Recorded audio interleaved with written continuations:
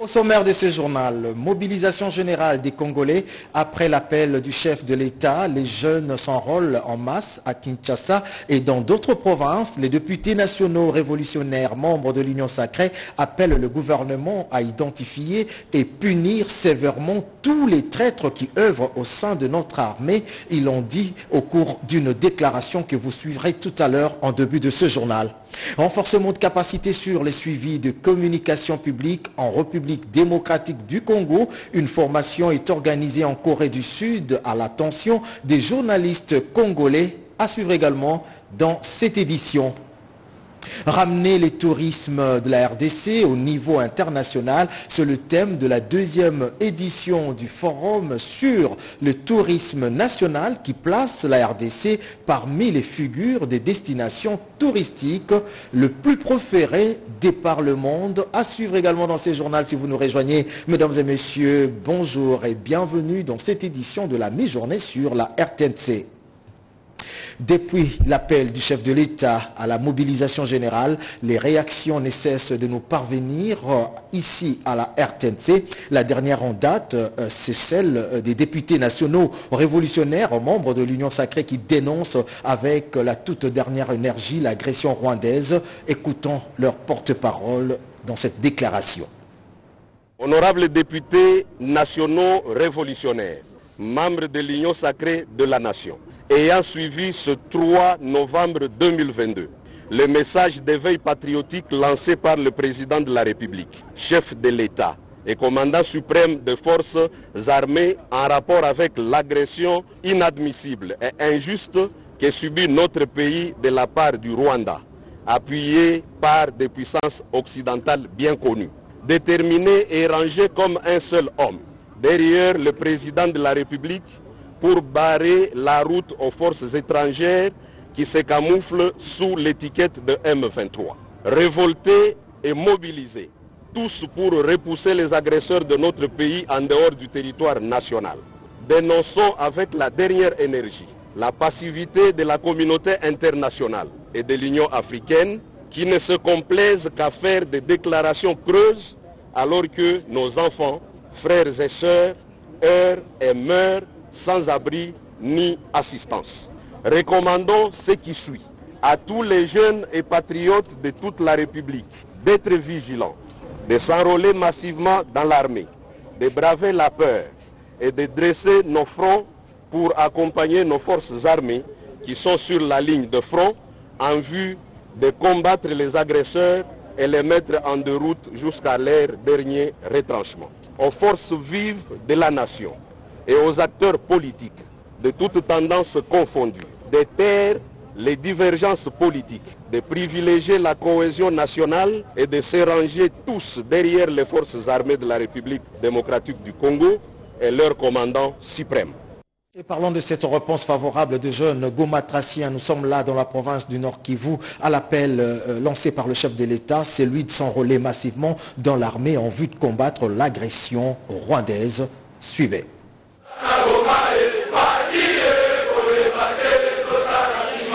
Plus de 3000 candidats au Nord Kivu enrôlés dans l'armée viennent de répondre à l'appel du chef de l'État, celui de la mobilisation générale pour la sécurisation de la RDC. Ils ont été visités ce lundi 7 novembre 2022 par le sous-chef d'état-major général de FARDC en charge des opérations et renseignements, le général-major Chico. Cette réponse à l'appel du président de la République démocratique du Congo est justifiée par le fait que l'Est de la RDC est sous menace des terroristes du M23 sous les labels de l'armée rwandaise, principalement dans le territoire de Rutshuru, a souligné le porte-parole de la 34e région militaire, le lieutenant-colonel Guillaume Njike Kaiko. Vous avez vu la population du Nord Kivu répondre spontanément à cet appel du chef de l'État.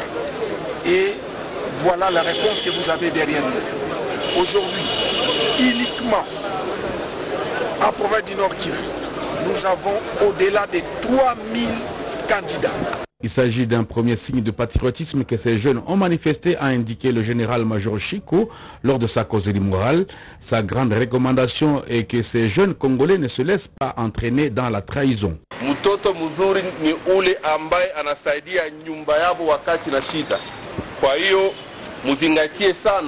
Ili wanaita le premier amour. premier amour yenye mnaonesha kwa nchi yenu ni ya maana sana. Parmi ces nouvelles recrues dans l'armée congolaise, on retrouve des jeunes filles déterminées à combattre pour la protection de l'intégrité nationale.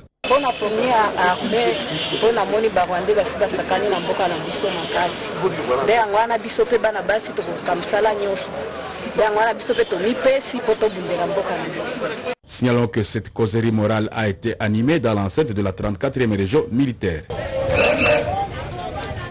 La société civile n'est pas en reste. Elle en appelle euh, à la mobilisation de la jeunesse congolaise à s'enrôler au sein de nos forces de défense afin de défendre notre intégrité territoriale. Regardez. Le mouvement citoyen Képi Blanc a suivi avec une attention particulière. Le discours prononcé par son Excellence, Monsieur le Président de la République, Antoine Tshisekedi Chilombo, au sujet de la création de notre pays par le mouvement terroriste M23 soutenu par l'armée rwandaise. Le comité directeur du mouvement citoyen Peuple Blanc recommande à tous les jeunes sur toute l'étendue du pays de s'enrôler massivement au premier rang dans l'armée, les forces armées de la RDC, afin de répondre à l'appel du chef de l'État, d'être vigilant et de dénoncer les infiltrés en vue d'accompagner et de soutenir nos forces de défense et de sécurité dans l'accompagnement de leur noble mission pour mettre hors d'état de nuire tous les ennemis de notre chère patrie. Aux jeunes de taire leurs divergences politiques, de rester unis et solidaires derrière nos forces de défense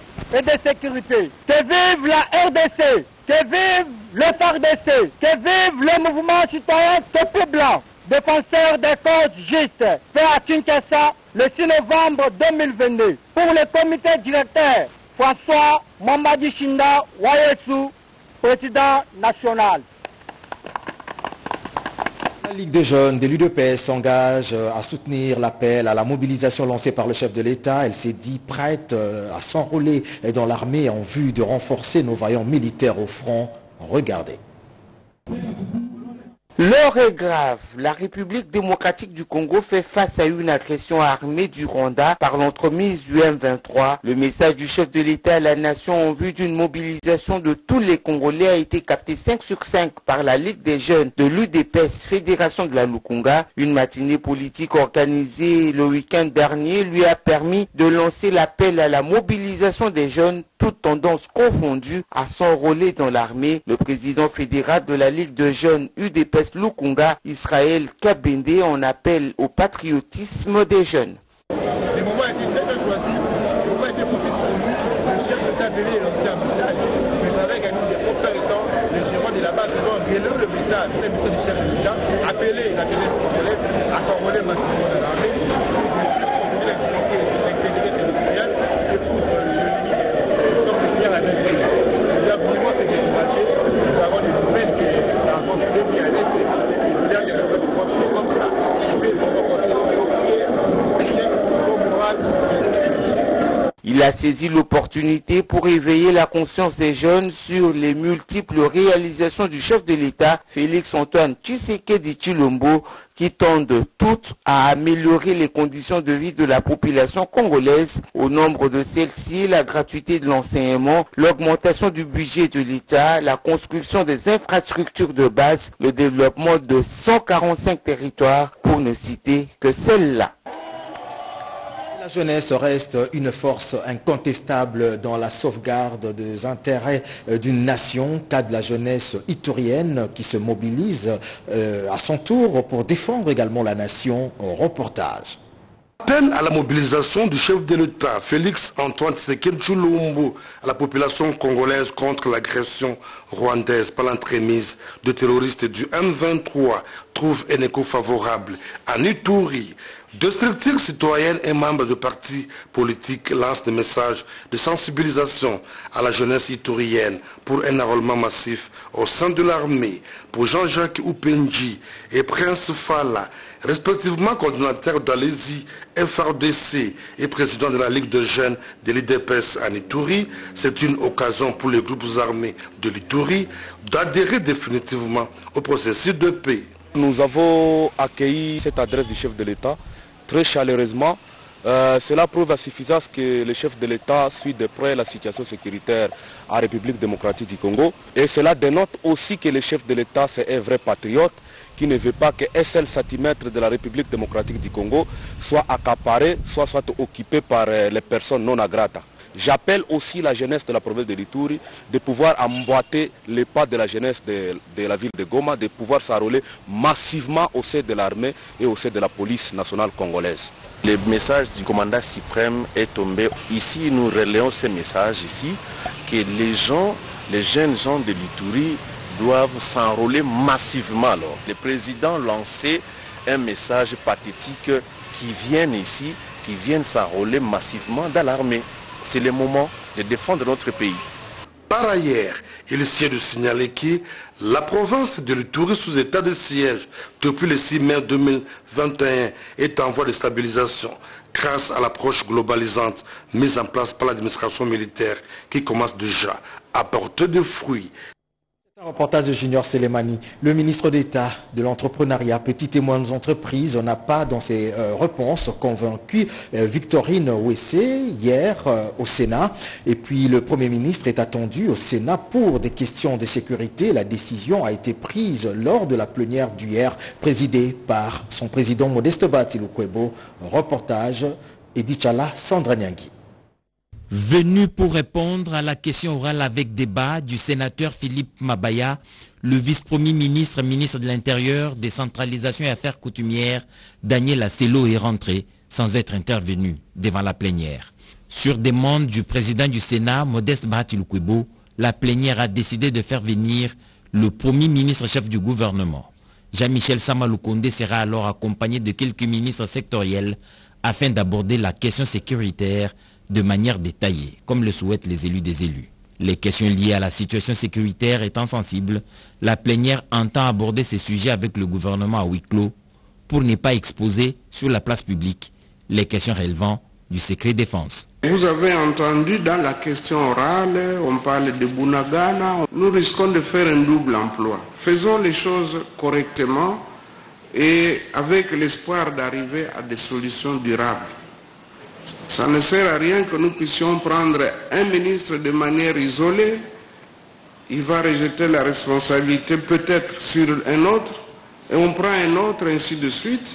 Faisons de sorte que le gouvernement puisse venir devant nous de manière à ce que nous puissions aborder ces questions-là de manière durable et très sérieuse. Je ne vois pas comment nous, qui avons notre pouvoir constitutionnel, nous allons le tronquer pour commencer à protéger les membres du gouvernement. Ça ne viendra pas de moi. Toujours dans le cadre du contrôle parlementaire, le ministre d'État, ministre de l'entrepreneuriat, petites et moyennes entreprises, Estache Mouhanzi Mumbembe, est venu répondre aux préoccupations des élus des élus à la suite de la question orale avec débat lui adressé au sujet de l'opérationnalisation du fonds de garantie de l'entrepreneuriat au Congo, FOGEC en sigle.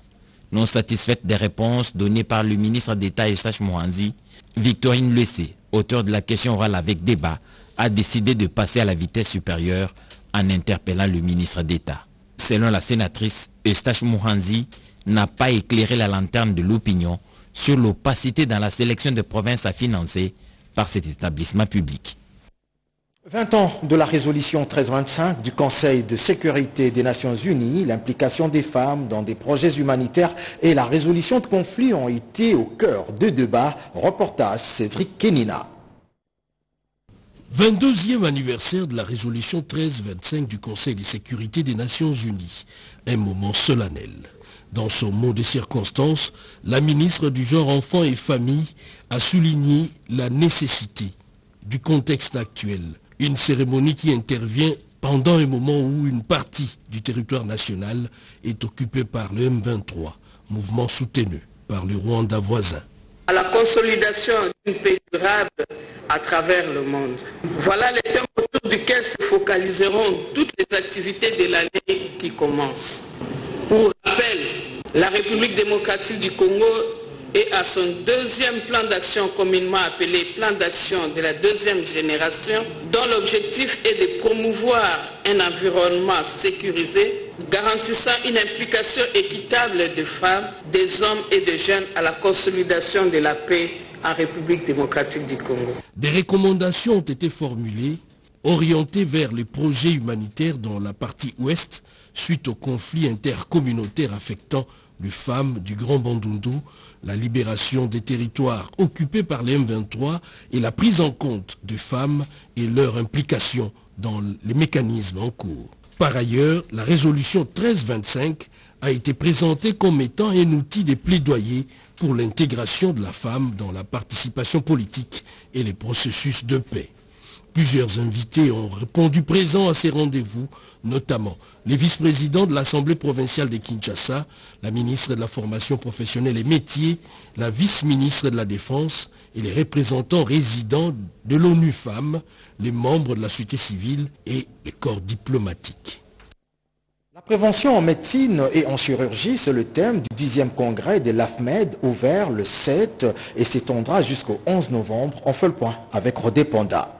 Dixième édition du congrès international de l'AFMED, Association des anciens et amis de la faculté de médecine de l'Université de Kinshasa, ouvert ce 7 novembre 2022 et placé sous le thème La prévention en médecine et en chirurgie. Durant quatre jours, soit 17 au 11 novembre 2022, les experts et prestataires spécialistes dans différentes filières du secteur de la santé voudraient, au cours de ces réflexions et échanges, imprimer de nouvelles pratiques dans les interventions médicales. À l'ouverture, le président de l'AFMED, le docteur Daniel Tondouangou, a placé un mot pour présenter le mobile de cette rencontre médicale et avant toutes les interventions de différents orateurs qui ont pris la parole, chacun avec un sujet spécifique pour étayer le thème principal, notamment le docteur Ntiala, ancien président de l'AFMED, qui a brossé un aperçu historique de cette structure depuis son existence,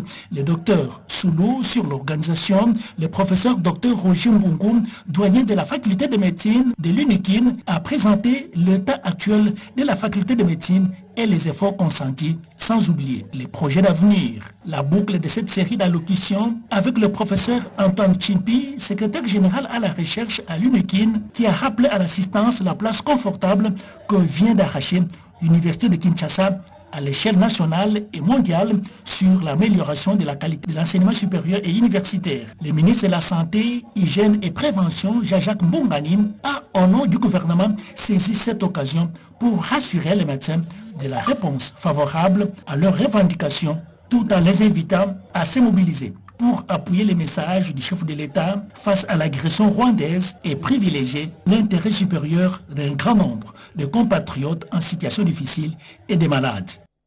Tenez, vers la numérisation du système LMD au sein des institutions d'enseignement supérieur en RDC, un accord de partenariat vient d'être signé entre l'ISTA et Huawei Technologies. Reportage Anastasie Doumbou. Cet accord de partenariat porte sur trois volets, à savoir l'apprentissage en ligne, l'échange culturel, technologique et mécanismes stagiaires. Ainsi, par cet accord, l'Institut supérieur de techniques appliquées ISTA Kinshasa souhaite renforcer sa coopération avec le monde professionnel dans le cadre de ses missions de services publics d'aide à l'insertion professionnelle en faveur de la jeunesse congolaise, a souligné le directeur général de l'ISTA, le professeur Anaclé Kaouli. Dans le domaine de TIC, Huawei va aider nos étudiants à se perfectionner davantage. Donc c'est une sorte de rapprocher de la professionnalisation. Ici, ils ont des enseignements théoriques, mais avec Huawei, il va les amener à connaître comment ça se passe réellement dans le monde du travail.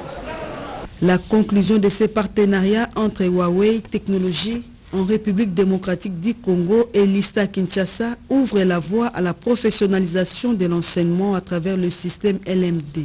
Plusieurs étudiants ont pris part à cette cérémonie organisée conformément à la convention cadre de partenariat entre l'université et l'entreprise conclue le 25 août 2022.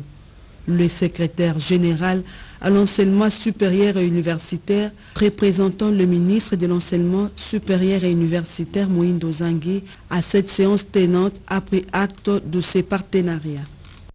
Je le disais à titre de ce journal, la RDC figure parmi les destinations touristiques les plus préférées et pour réfléchir à ces sujets, la deuxième édition du forum a été organisée ici à Kinshasa, placée sous le thème « Ramener les tourismes de la RDC au niveau international ». Regardez.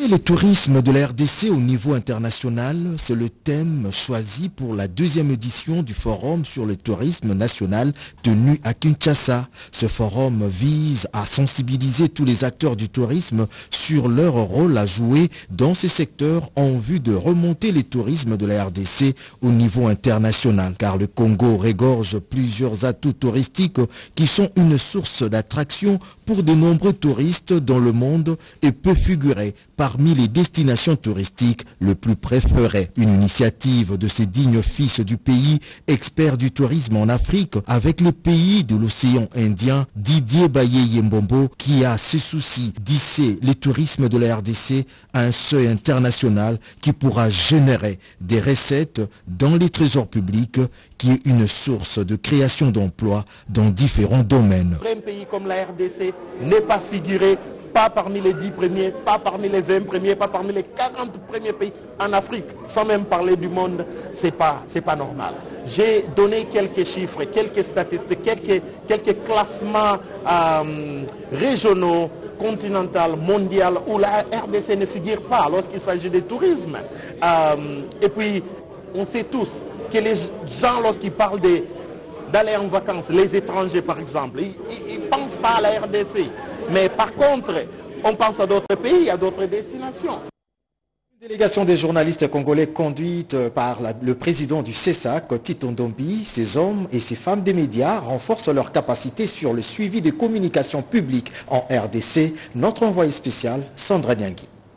C'est ici, au centre de la coopération internationale coréenne, que la délégation des journalistes congolais va s'abreuver pendant deux semaines de l'expérience coréenne afin de renforcer les capacités pour le suivi de médias de communication publique en République démocratique du Congo. L'ouverture de la session a été marquée par le discours de M. Sing Woo Hong, vice-président en charge de l'Afrique, Moyen-Orient, du Centre et du Sud-Amérique, qui a relevé l'importance de ces travaux pour le renforcement de coopération entre Kinshasa et Séoul, surtout après un long moment de pause dû à la pandémie de Covid-19. Un motif de fierté pour le président du CESAC, Tito Ndombi, à la tête d'une délégation des professionnels de médias et du secrétaire général à la communication. Le président du CESAC a demandé aux participants de maximiser cette formation qui va sans nul doute donner un coup de pouce à la presse congolaise. Nous voulons profiter de leur expérience pour voir comment les médias publics sont gérés ici et essayer d'apporter ça dans notre pays pour améliorer ce que nous sommes en train de faire. La première journée a été sanctionnée par la visite des installations de l'Agence nationale de presse Yonap News Agency, logée dans ce bâtiment imposant. Ce programme de l'Agence de coopération du gouvernement coréen entend faire participer aux professionnels des médias des échanges sur les avancées technologiques de ce pays asiatique dans l'agenda des visites et excursions sont également prévus. 100 jours à la tête du gouvernement provincial de la province du Bazouélé, le bilan du gouverneur Jean-Robert Nzanza est jugé positif à en croire son porte-parole. 7 juillet 2022 à nos jours, le gouvernement de la province du Bazouélé que dirige Jean-Robert Nzanza Bombiti totalise ses 100 premiers jours. Quel bilan dressé? Le ministre provincial de la communication et médias, porte-parole du gouvernement provincial, le professeur Irsir Lelodi Makongo présente l'économie générale des actions menées par leur gouvernement. Avec sa politique de gestion collective, issue de consultations menées auprès de la base avant l'adoption de son programme d'action, Jean-Robert Nzanza Bombiti et son gouvernement étaient dans l'obligation, partant de sa redevabilité, de réaliser dans 100 jours ces quelques progrès. De l'éducation aux infrastructures en passant par la santé et l'agriculture, mais aussi les travaux d'assainissement de la ville de Bouta et la dotation d'un émetteur radio à la RTNC Bazouélé. Rien n'échappe dans cette présentation du bilan de 100 jours. Pour matérialiser la gratuité de l'éducation de base prônée par le chef de l'État Antoine Félix Tshisekedi Tshilombo, le gouverneur Jean-Robert Nzanza Bombiti a lancé l'opération Pas d'une école Samba sur toute l'étendue de la province Prosidi Bazouele. Le gouvernement provincial a également lancé des travaux de réhabilitation de l'axe routier Aketi-Doulia sur la route nationale numéro 6, l'aménagement des sources d'eau, les débits de travaux agricoles de 100 hectares, le renforcement des capacités des membres du gouvernement provincial, la formation des opérateurs miniers locaux de la province sur la fiscalité et bien d'autres. L'itinérance du gouverneur Jean-Robert Zanzabombiti dans quatre territoires sur six que compte la province du Bazoulé n'a pas échappé dans la présentation de ce bilan. Ceci dans le but de palper la réalité des vécus de ses administrés. Un bilan qui décrit plusieurs réalités certes, mais beaucoup de défis restent à relever, à faire savoir les porte-parole du gouvernement provincial. Parlons à présent du ministre des ITP qui palpe du doigt l'évolution de, de, travaux et des chantiers ainsi que la finition de travaux dans la province du Haut-Katanga. Regardez. Envoyé spécial du gouverneur Jacques Blakatoué à Kinshasa, le ministre provincial des infrastructures du Haut-Katanga, Miguel Katem Kachal, a été l'hôte du ministre d'État des ITP, Alexis Guissaro Mouvouni. Au menu, les travaux en cours sur la nationale numéro 5, axe Kassomeno-Pueto. Le ministre provincial Miguel Katem Kachal a fait part au patron des ITP en RDC de l'évolution des travaux sur cette route d'intérêt économique et social. Comme vous savez, il y avait un grand atelier que le gouverneur de province avait acheté et qu'il avait placé euh, sur la RN5. Et nous avons reçu aussi euh, un financement du gouvernement central qui est venu en appui. Et sur ce, nous disons merci à son Excellence Monsieur le Premier ministre, Sama Lukonde, qui nous a appuyés afin que nous puissions avancer avec ces travaux. Comme vous le savez, les gouverneurs des provinces qui euh, matérialisent la vision du président de la République en province, le peuple d'abord. De son côté, le ministre d'État des ITP, Alexis Gisaro-Mouvouni, a insisté auprès de son hôte que les travaux soient exécutés dans les normes requises. Le ministre tient aussi à ce que les travaux se fassent dans les normes et que, nous ne puissions pas rentrer deux fois dans les mêmes travaux et que nous puissions tenir compte euh, des normes de, la construction de cette route. Les travaux sur la nationale numéro 5 à Someno Pueto constituent une preuve de plus que le Haut-Katanga de Jacques Aboulakatoué est résolument engagé à matérialiser la vision du chef de l'État, Félix-Antoine Tshisekedi, de mettre à la disposition de la population des infrastructures viables. Dans la province du Kassai central, où les élites se sont réunies pour examiner les questions liées au développement de leur contrée, commentaire Joël Makela. Les grands projets socio-économiques de la province du Kassai central. Il en a été question à la soirée de fraternité des élites de ce coin du pays. Ils ont à cette occasion identifié quelques projets phares. Il s'agit entre autres de la reprise des travaux du barrage hydroélectrique de Katende, la réhabilitation de la route Kalambambouji et de la route Kanangambouji-Maï. Faisant d'une pierre deux coups, cette rencontre était aussi une opportunité pour exhorter leurs frères et sœurs promus à des postes de responsabilité à travailler pour l'intérêt général. Il s'agit du directeur général du Fonds de promotion de l'industrie FPI, de la DGI, Direction générale des impôts, du DGA de Crexet et du BCECO. Pour le président du REDECO, Rassemblement des élites pour le développement du Kassai central, Popol Mbumba Kankou, la chute de Katende est le moteur de la relance économique de cette province. L'objectif est simple, hein? la sensibilisation et la motivation de nos frères.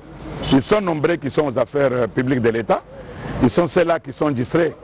C'est ainsi que nous voulons lancer euh, les cris d'alarme pour ceux-là qui sont des fois distraits, qu'ils viennent autour d'une table pour développer. Le DG du FPI a par ailleurs souligné la disponibilité de sa structure à financer tous les projets devant booster le développement intégral du pays.